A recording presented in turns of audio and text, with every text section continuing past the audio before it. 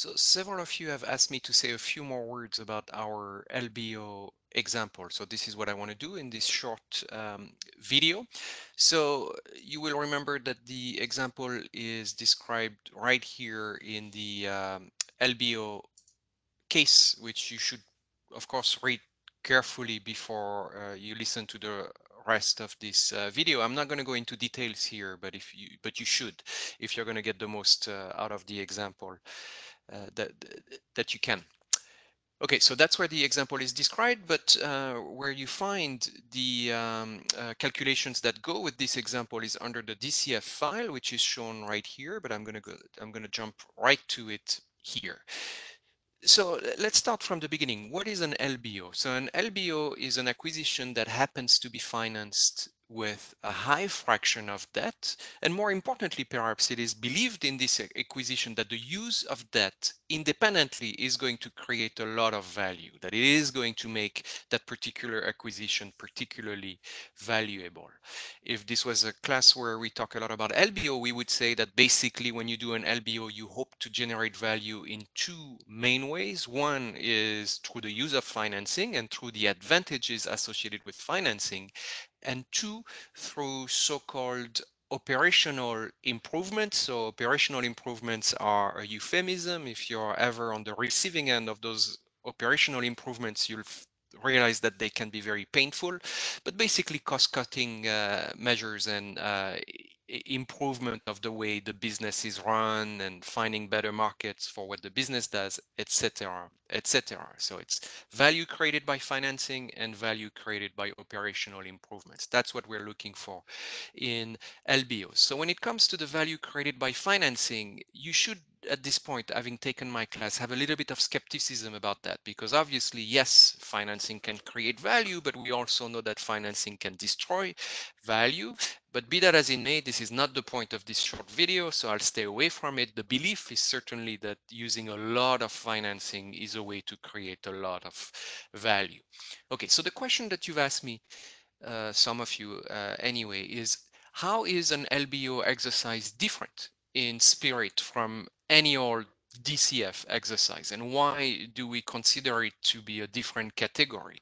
And the answer is not very. It is not very different. It's just a matter of um, emphasis, really. So the first point of emphasis, like I said, is supposedly we're trying to create value through financing. So we're going to be much more careful about financing in the context of an LBO exercise than we would in a traditional DCF. As I've told you many times, in a traditional DCF, you're going to work almost always at the unlevered FCFF uh, level, and you're going to let WACC capture any value created by financing.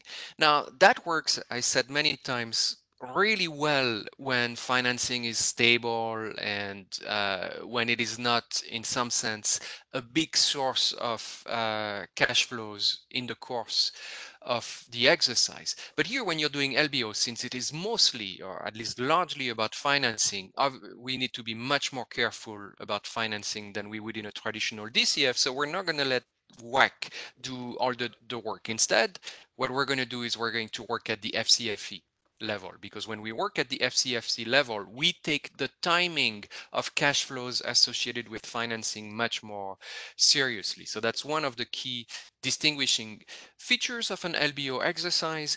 The other more minor difference is going to be that we're going to use slightly different metrics than we do in traditional DCF. Uh, for instance, uh, equity multiples are going to be much more common uh, in the context of LBO for reasons that are not fully clear to me, but um, uh, it is what it is. Um, okay, good.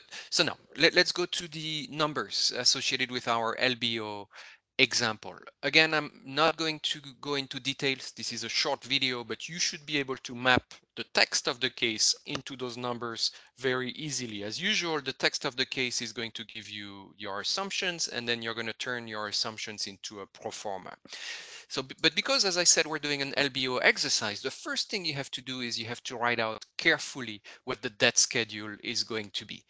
We are going to work at the FCFE level, so I need to know exactly what the debt interest and amortization schedule is going to be. So the first thing you do always in an LBO exercise is you write an entire detailed um, debt schedule.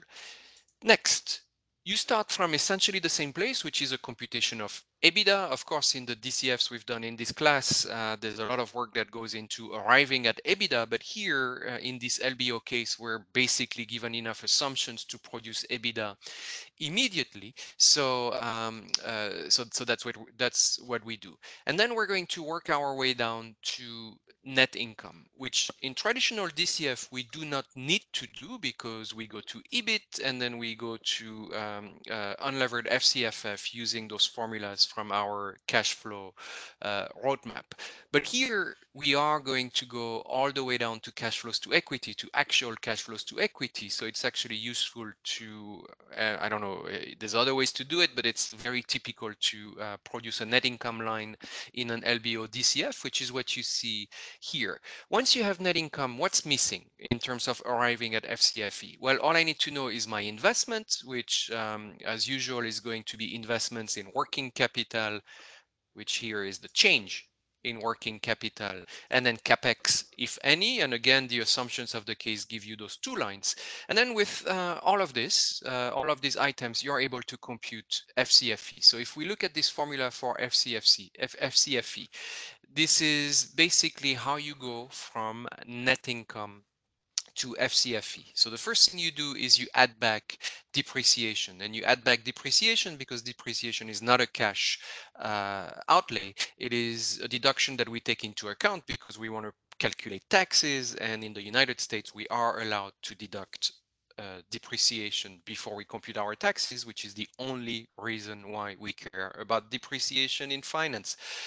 But of course, since now we want to go to FCFE, we start by adding it um, back up. And then what else do we do? We take out our investment in working capital, we take out our investment in CapEx. And then if you remember our um, uh, cash flow roadmap from chapter one, what we would want to do here is add add to this computation any net addition to debt.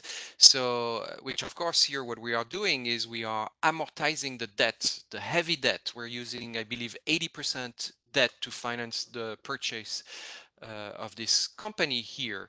So we have a lot of debt and it amortizes over time. So of course, this is something that is going to be taken away uh, before I can compute free cash flows to equity. Very good. So those are free cash flows to equity. And of course, in the final period, as usual, I'm going to have some reversion FCFE. So this is another thing that you're going to see very, very typically in an LBO analysis. You, you're going to see so-called entry multiples and exit multiples. So those are usually almost always EBITDA multiple. So the entry multiples tells you that the acquisition price is uh, for uh, the business uh, as in the enterprise, the, the value of all the operating assets associated with the business are going to be 10 times in this particular case uh, EBITDA over the past year. So you take EBITDA over the past year, which is uh, in this case assumed to be $100 million. You multiply that by 10, that's giving you the enterprise value of the corporation. So that's the market value of the operating assets of the corporation. That's what you have to pay for the operating assets of the corporation. But of course, you also have non-operating assets and non-operating assets in this case are 50 million. So the total purchase price is one uh, uh, uh 0.05 uh, no, it's actually uh, 1.05 billion dollars uh, if I'm reading my units right. Anyway, it's this number, whatever the proper way to call this is. Uh, okay, so you have, like I said, an entry multiple, but likewise you have an exit multiple, which tells you that at the end of the exercise, we're going to assume that we're going to sell this particular property for 10 times EBITDA. Remember I mentioned that in LBO, the other source of value are the so-called operational improvements. So obviously the idea is I'm going to boost EBITDA and that means that when I sell the property in uh, a few years, I'm going to sell it for a pretty high market value. And here this is most evident because we assume an exit multiple, which is the same as the entry multiple, which means that uh, basically the the selling price is going to be a simple function of the EBITDA that I'll be able to generate by year five in this particular pro forma. So this number uh, here, which is reversion FCFE, is is just going to be 10 times the most recent EBITDA, which is uh, 105 millions and change. But then in addition to this, because this is giving me once again enterprise value, the value of operating asset, I'm also going to sell whatever non-operating assets I still have on my books. There's a long note here about how to treat non-operating assets in an LBO exercise. Not going to bore you with it. Suffice it to say that I'm generally not impressed by what's done in practice.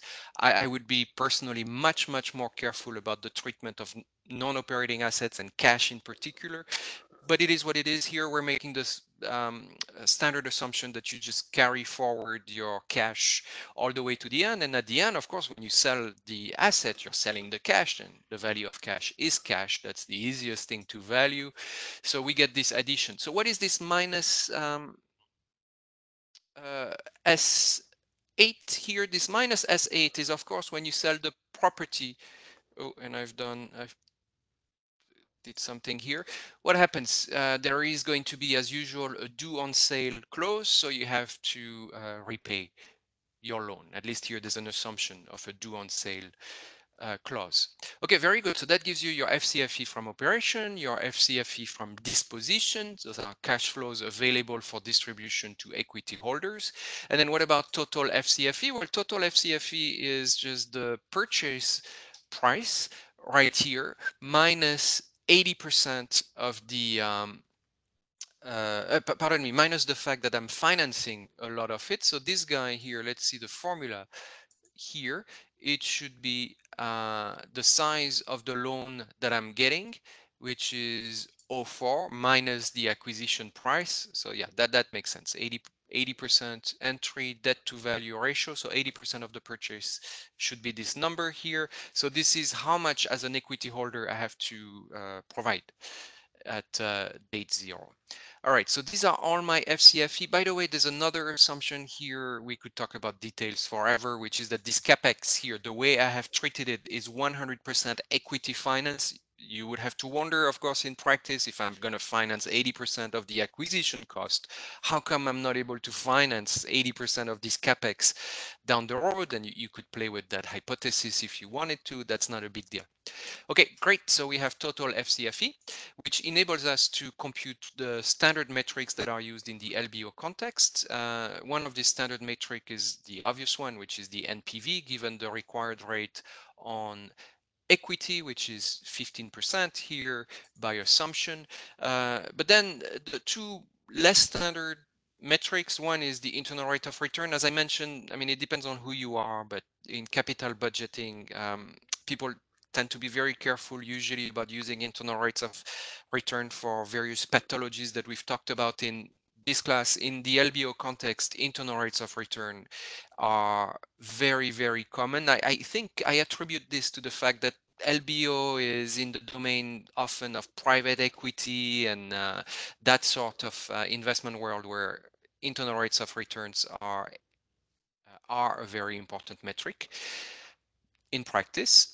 And the other uh, metric, which is very common in private equity and is very common, therefore, in the LBO context, is the so-called equity multiple. So what's an equity multiple? So this is just you take your equity investment and then you sum up all the cash flows to equity, I'm sorry, those that you're going to get. So you do a simple sum of all the cash flows, and then you divide that simple sums, simple sum by um, uh, your uh, equity outflow.